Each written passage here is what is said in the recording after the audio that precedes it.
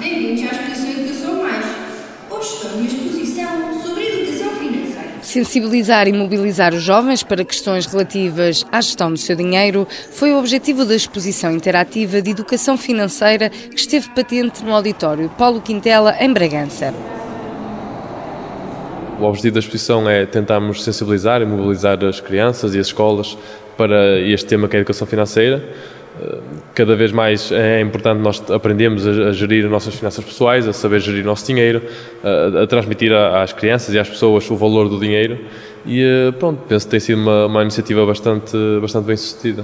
As visitas foram organizadas pelas escolas em função da idade dos alunos e das três atividades disponíveis. Um dos jogos foi destinado aos alunos do primeiro e do segundo ciclo.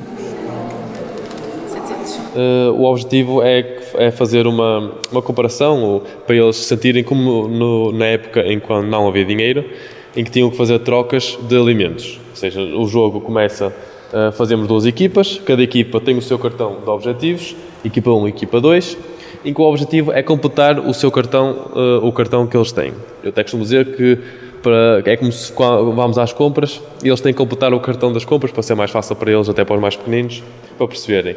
Mas pronto, seria, o objetivo é trocar os alimentos, trocar uh, uma, uma, equipa troca com outra equipa, através da, da, tabela que nós temos aqui, em que dá o valor dos alimentos. Dá o valor dos alimentos em alimentos, visto que não há dinheiro, como é uma simulação de antigamente. Então eles veem o valor dos alimentos, fazem as trocas e chegam ao final com as trocas todas feitas.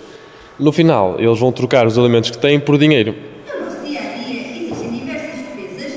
Também o terceiro ciclo e secundário participaram nos jogos interativos, mas já com um grau mais avançado. Tiveram que gerir um orçamento com base num rendimento mensal durante um ano.